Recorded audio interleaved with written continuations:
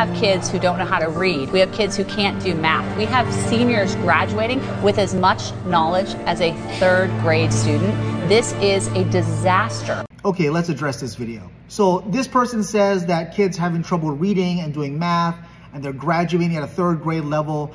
Whose responsibility was it to make sure that those students were on track? It's the parents' responsibility. It's not the teacher's responsibility.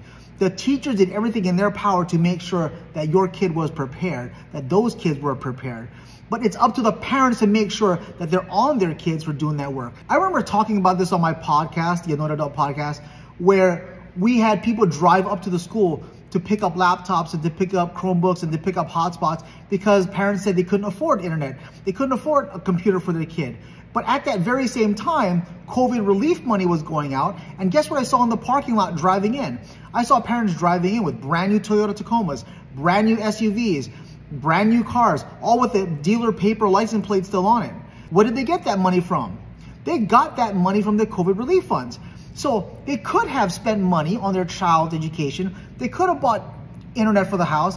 They could have had a computer for their kid, or maybe they did and they just didn't care and wanted the school to provide resources anyway.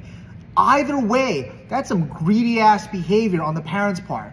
What are we supposed to do about it as teachers? What are we gonna do, huh? We're supposed to grind your kid and make them and force them to stay in school? They're not gonna do that. We're not legally obligated to bind your kid to this school and make them stay after class and do their work. That's your job as a parent. Your job is to make sure that they do all their schoolwork. And that's your business and your responsibility. And if as a parent, if you can't keep up with that responsibility, then you shouldn't be a parent in the first place.